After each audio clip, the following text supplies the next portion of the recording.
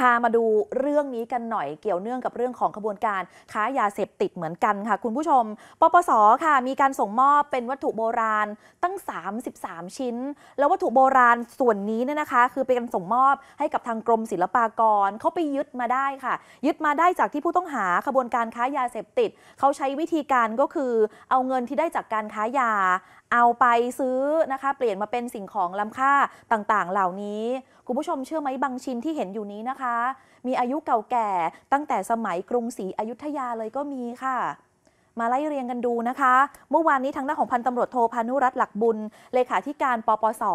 ท่านเป็นประธานในการส่งมอบค่ะ ก็จะมีตั้งแต่พระพุทธรูป มีโบราณวัตถุนะคะ ตั้ง 33 รายการ ส่งมอบให้กับกรมศิลปากร ที่คลังกลางพิพิธภัณฑสถานแห่งชาติตำบลคลอง 5อำเภอคลองหลวง จังหวัดปทุมธานี ก่อนหน้านี้ทางเจ้าหน้าที่ค่ะมีการไปสืบสวนจับกลุ่มเครือข่ายนักค้ายาเสพติดรายใหญ่ ตั้งแต่ปี 2557 เรื่อยมา แล้วก็พบว่ามีทรัพย์สินส่วนหนึ่งที่ได้มาจากการค้ายา ถูกแปลงไปเป็นพระพุทธรูป มีรูปหล่อต่างๆ อย่างน้อยๆนะคะ 66 ชิ้นจนกระทั่งผู้เชี่ยวชาญจากกรมศิลปากร ตรวจสอบเป็นที่เรียบร้อย พบว่า 33 จาก 66 เนี่ย เป็นวัตถุโบราณค่ะ ปรากฏว่าทางในคดีนี้มีผู้ต้องหาก็มีทรัพย์สินที่เราเชื่อว่าเกี่ยวเนื่องกับยาเสพติด แล้วก็ได้ส่งให้เลขาธิการปปสได้ทำการออกคำสั่งยึดอายัดไว้ชั่วคราวไว้ตรวจสอบ ตรวจสอบแล้วพบว่า 33 รายการอยู่ในขายโบราณวัตถุครับ เมื่ออยู่ในขายโบราณวัตถุเนี่ยเราเราจะนำไปขายต้นตลาดคงไม่ได้ ท่านรองเลขาธิการปปสบอกว่าของสะสม เฉพาะกลุ่มอย่างวัตถุโบราณมีคุณค่าสูงนะคะ ในขณะเดียวกันก็ยากที่จะประเมินมูลค่าได้ เพราะว่า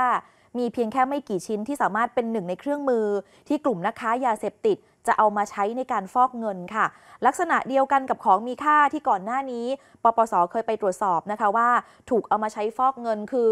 เทียบได้กันกับกระเป๋าแบรนด์เนม รถหรูๆ อสังหาริมทรัพย์ หรือแม้แต่อาร์ตทอยต่างๆ เช่นเดียวกันอืมนี่ก็จัดอยู่ในกลุ่มเดียวกันคือใช้ฟอกเงิน ค่ะนะคะขณะเดียวกันในมุมมองของพันธรักษ์ผู้เชี่ยวชาญจากกรมศิลปากรบอกว่า วัตถุโบราณแต่ละชิ้นที่ยึดมาได้นะคะ ถือเป็นสมบัติแผ่นดินที่มีคุณค่าทางประวัติศาสตร์ และควรเก็บรักษาเอาไว้อย่างดีนะคะแล้วก็จัดแสดงเพื่อทำการศึกษาต่อไป หากเป็นการนำไปขายทอดตลาด ก็เท่ากับว่าทำให้การซื้อขายวัตถุโบราณ มันกลับกลายมาเป็นเรื่องที่ถูกกฎหมายค่ะชิ้นอื่นๆเนี่ยที่เด่นๆก็มีอยุธยาตอนกลาง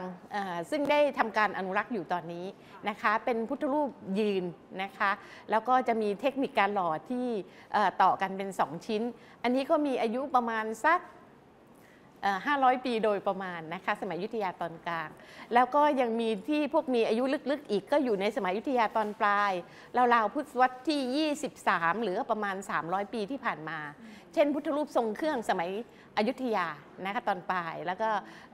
พระ ปังป่าเลไลซึ่งอยู่ทางโน้นนะคะ แล้วก็ส่วนใหญ่ก็จะเป็นพระพุทธรูปหรือว่าเเจดีย์วัตถุในช่วงรัตนโกสินทร์ตั้งแต่ 200 ปีที่ผ่านมาถึงประมาณ 100 ปีที่ผ่านมา เพราะว่าสิ่งที่กรมศิลปากรคัดเนี่ยเราคัดจากความเก่าแก่เนี่ยเป็นหลักสำคัญ เพราะฉะนั้นเนี่ยล้วนแต่เป็นโบราณวัตถุที่มีคุณค่าทางอายุและรูปแบบศิลปะทั้งสิ้น การประเมินมูลค่าต้องเข้าคณะกรรมการ เราจะประเมินตั้งแต่ ความเก่าเก่าเท่าไหร่ วัสดุสร้างจากอะไร แล้วทีนี้ว่าถ้าของมีความเป็นมาที่ชัดเจนน่ะยิ่งมีมูลค่าสูงไปอีก เพราะฉะนั้นเนี่ยมันจะมีความไม่แน่นอนของพวกราคาพวกเนี้ยอูถ้าลงลึกไปในรายละเอียดเนี่ยไม่ใช่แค่ความสวยงามทางศิลปะวัฒนธรรมในยุคนั้นๆนะคะ ของโบราณวัตถุที่พบ ณปัจจุบันเนี่ยยังประเมินมูลค่าไม่ได้เลยทีเดียว เพราะฉะนั้นตอนนี้ทั้ง 33 รายการที่ปปสมาส่งมอบ ให้กรมศิลปากรจะถูกจัดเก็บรักษา อนุรักษ์ให้คงสภาพที่ดีที่สุดต่อไปนะคะ แล้วก็รักษาความปลอดภัยอย่างมั่นคง ที่คลังกลางพิพิธภัณฑสถานแห่งชาติ จังหวัดปทุมธานีค่ะ หลังจากนี้ก็จะนำไปใช้ประโยชน์ ในด้านการศึกษาค้นคว้าวิจัย ในรูปแบบของศิลปกรรม แล้วก็เรื่องของเทคโนโลยี การหล่อพระพุทธรูปโบราณกันต่อไป อายุไม่ต่ำกว่าร้อยปีนะคะ นับได้ตั้งแต่ร้อยสองร้อยสามร้อยปีเลยทีเดียว